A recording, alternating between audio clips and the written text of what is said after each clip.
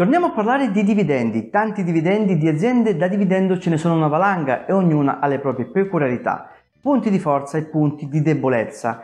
Ma se ne dovessi scegliere solo tre, quali sarebbero in questo 2022 quelle sulle quali potrei metterci un gettone? Bene, ora ti dico la mia, le mie tre scelte, ma subito dopo la sigla.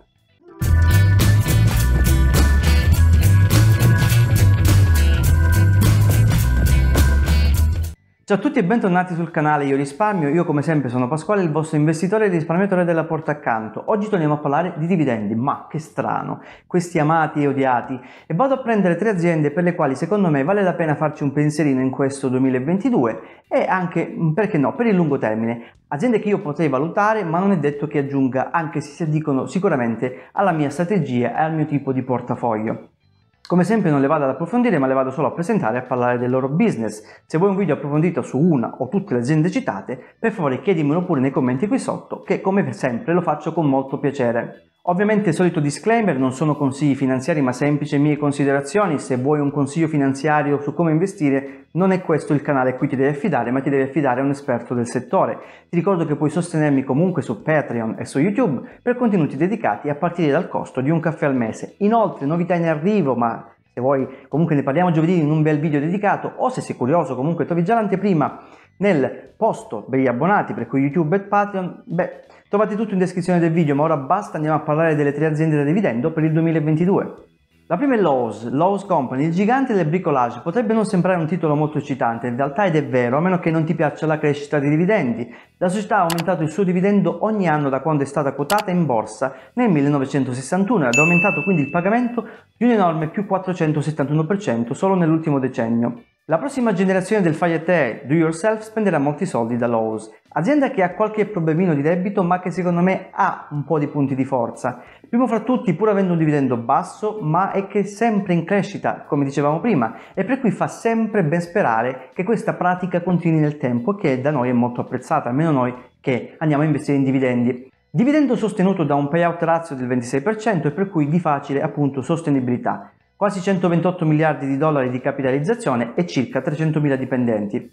Lowe's Company insieme alle sue sussidiarie cosa fa? Opera come rivenditore di articoli per la casa negli Stati Uniti e anche a livello internazionale. L'azienda offre delle linee di prodotti per la costruzione, manutenzione, riparazione, ristrutturazione e decorazione, ma va a fornire anche altri prodotti per la casa come ad esempio elettrodomestici, vita stagionale all'aperto, prato e giardino, legname, cucine, bagni, strumenti, vernici, impianti idraulici grezzi, materiali da costruzione, decorazioni, illuminazione ed elettricità, insomma una caterva. Offre inoltre servizi di installazione tramite appaltatori indipendenti in varie categorie di prodotti. Offre anche piani di protezione estesi e servizi di riparazione e in garanzia e fuori garanzia. L'azienda vende merce di marca nazionale e prodotti a marchio, privato, a proprietari di case, affittuari e a clienti professionali. Al 28 gennaio 2022 gestisce 1971 negozi di bricolage e ferramenta. L'azienda vende i suoi prodotti anche attraverso i canali online, per cui siti web che comprendono Lowe's.com e lowesforpros.com e tramite anche delle applicazioni mobili. L'azienda è stata fondata nel 1921 a sede a Mooresville nella Carolina del Nord. La seconda azienda che secondo me non può mancare quest'anno è Walgreens Boots Alliance, che è uno dei più grandi operatori di farmacia del taglio del mondo e che sta subendo una massiccia inversione di tendenza. Le sue azioni stanno già riducendo i costi e aumentando le vendite digitali e, cosa forse più importante, aggiungendo anche delle cliniche vere e proprie sanitarie e un servizio completo in centinaia di punti vendita. Lo scopo è diventare un'azienda sanitaria più integrata e quello sta contribuendo a rendere questa azienda ancora più redditizia, alimentando il suo già generoso dividendo a livelli ancora più elevati. Con un rendimento da dividendi che è ben al di sopra del 4,5% e 6 decenni di crescita annuale dei pagamenti, gli investitori che appunto apprezzano i dividendi, secondo me apprezzeranno anche molto le azioni di Walgreens Boots Alliance. Opera come azienda di vendita al dettaglio di prodotti di bellezza e salute guidata per le farmacie. Opera attraverso due segmenti, Stati Uniti ed internazionale. Il segmento che si trova negli Stati Uniti vende prevalentemente farmaci da prescrizione e un assortimento di prodotti al dettaglio, inclusi prodotti per la salute, benessere, bellezza, cura personale, materiali di consumo e merce in generale attraverso appunto le proprie farmacie al dettaglio. Va a fornire inoltre servizi di farmacie centrali specializzati e servizi di posta. Al 31 agosto 2021 questo segmento gestiva 8.965 negozi al dettaglio con i marchi Walgreens e Duane Reed negli Stati Uniti d'America. In più esistevano anche 5 farmacie specializzate. Per quanto riguarda invece il segmento internazionale, quello vende farmaci da prescrizione, salute, benessere e bellezza, cure personale e altri prodotti di consumo attraverso i suoi negozi di salute e bellezza, guidati anche da farmacie e studi ottici, nonché tramite il sito boots.com e un'applicazione mobile integrata. Si occupa anche di vendita all'ingrosso e distribuzione di prodotti farmaceutici in Germania. Al 31 agosto 2021 questo segmento gestiva 4.031 negozi, al dettaglio sotto il nome di Boots, Benavides e Omada, questo succede nel Regno Unito, Thailandia, Norvegia, Repubblica d'Irlanda, Paesi Bassi, Messico e Cile.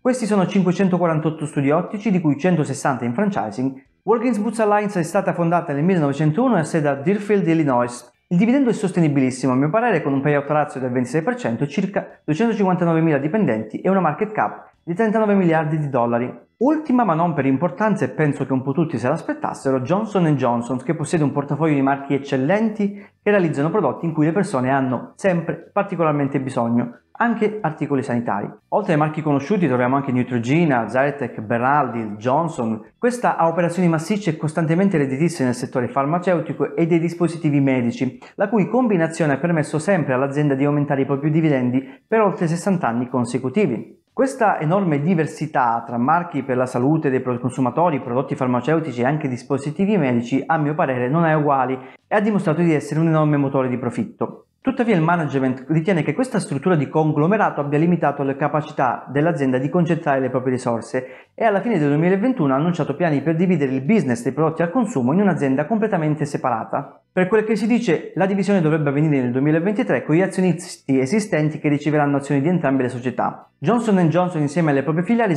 ricerca, sviluppa, produce e vende vari prodotti nel campo sanitario in tutto il mondo.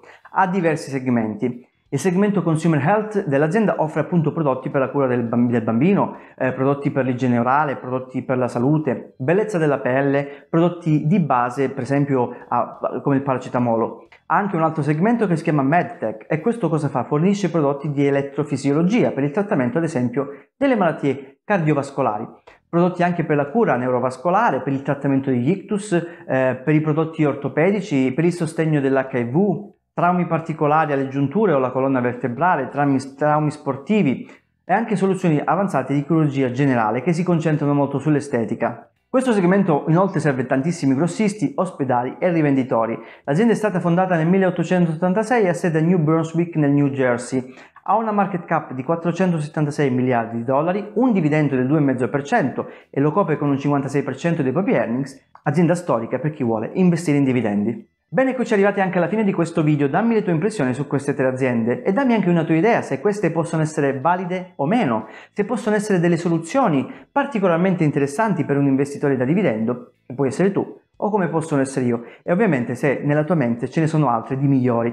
Spero vivamente di avere un tuo feedback qui sotto e di poter avere da parte tua un contributo per far crescere tutta la community. Come sempre cerchiamo di aiutarci a vicenda, scambiandoci commenti educati, opinioni educati e aiutiamoci a crescere sempre e comunque. Come sempre ti chiedo di lasciare un bel pollice in su per l'algoritmo di YouTube e se sei nuovo sul canale iscriviti e clicca la campanella delle notifiche per non perderti nessun contenuto successivo. Bene anche per oggi è tutto e noi ci vediamo domani con un nuovissimo video. Ciao!